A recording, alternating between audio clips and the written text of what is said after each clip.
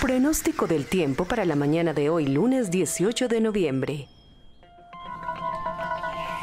Amplios sectores del Caribe esperan nubosidad variada y tiempo seco.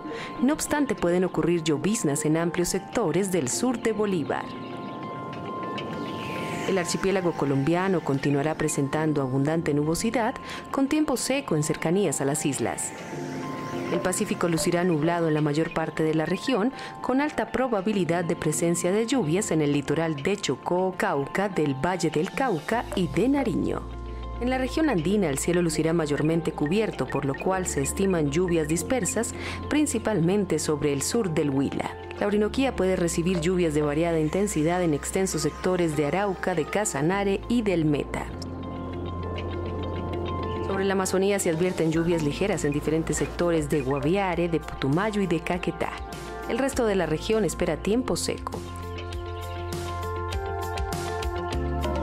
Para la capital de los colombianos se estima una temperatura mínima que podría llegar a los 9 grados con tiempo seco sobre la mayor parte de la ciudad.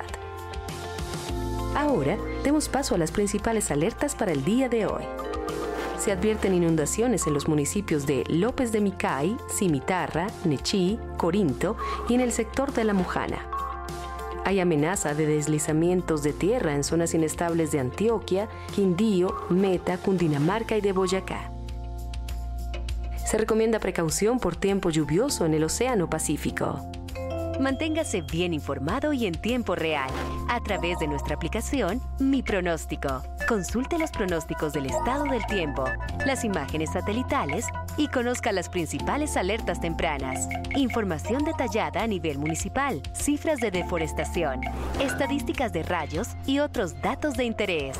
Descárguela gratis, planee su día y tome las mejores decisiones.